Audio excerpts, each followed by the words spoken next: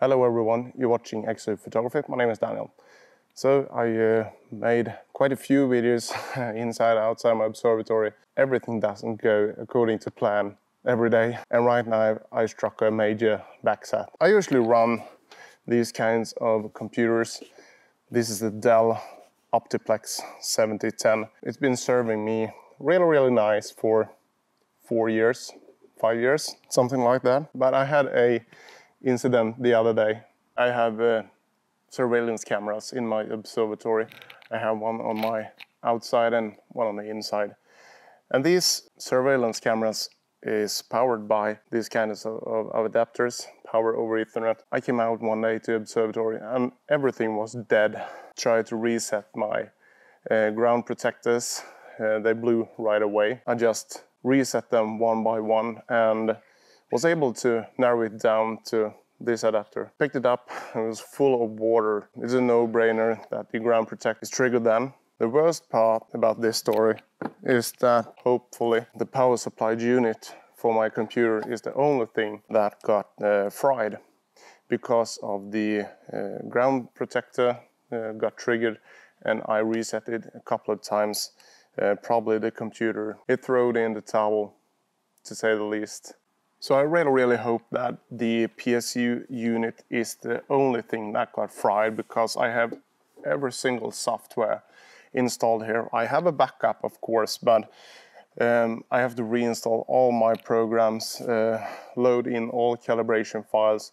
Uh, it's quite a hefty job to do. I really, really hope that uh, once I got my um, spare parts uh, this will be up and running again. I can highly recommend these anyways. I just love the Dell computers. Um, easy, quite powerful. Where did the water came from? I see quite a lot of threads online, both on Facebook, Stargazers Lounge or Cloudy Nights.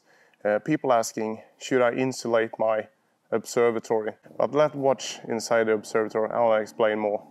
As you can see here, um, it's just bare wood, no insulation, no whatsoever. And the reason for this is I want, I want to change air in my observatory as quick as possible.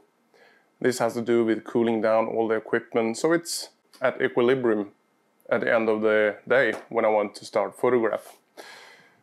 In the corners of my observatory roof I have um, open air vents uh, just for uh, making this uh, air change happens as quick as possible.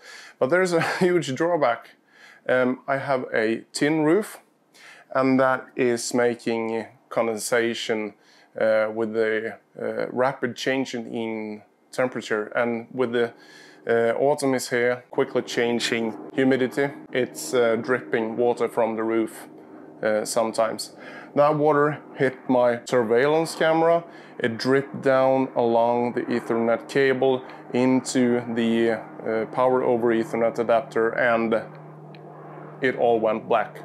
To be able to cool down my telescope as quickly as possible, uh, I also added a 125 millimeter fan, which I can turn on and off whenever I want.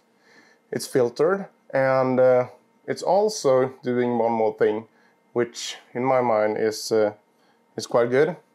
It's creating a slight overpressure inside my observatory, which keep, well, I hope at least, some of the dust and pollen away. During the most of the season, I keep this on. Right now I'm waiting for my power supply unit and uh, I will be mounting that and see if my computer get back on track. It's been a week. Um, I ordered a replacement uh, PSU unit for my computer. I mounted. Uh, those Dell computers are quite easy to manage. I just connected all the cables. Let's hope for it to start. I made a insulated box here, as you can see. Okay, let's put it on here. Yeah, it seems to be working. Awesome. Okay, let's see, it booted Windows here for me. Let's see if everything is working as it should. I'm going to start to open the software for the mount. Uh, this is the AutoSlew program. Yeah, it seems to connect properly. Trying to raise the fan speed. Yeah, perfect. let's try the uh, Pegasus Astro, the new Unity platform. Yeah, it seems to work. Let's turn on the camera. Yeah, that worked too. Let's try Maxim DL. Connect. Yeah, perfect. So this is Maxim DL. It controls my camera and my filter wheel. Okay, perfect. Everything seems to run as normal. No one could be happier than me. I, this means I don't have to reinstall every single program on my computer. So, yay! See you out there. Bye.